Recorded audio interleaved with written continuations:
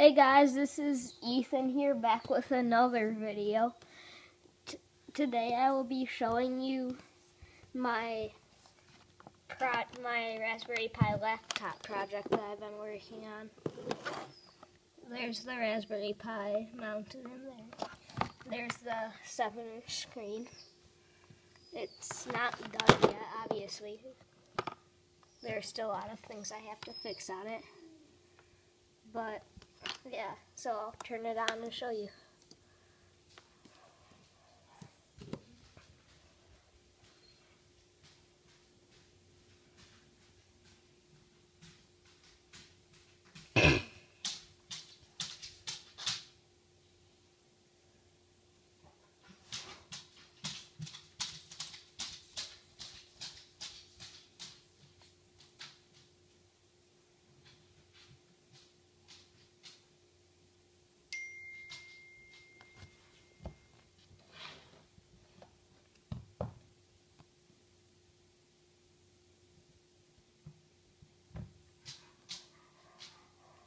Okay, guys, it's booted up, but I have it, yep, it should start booting into EmulationStation soon.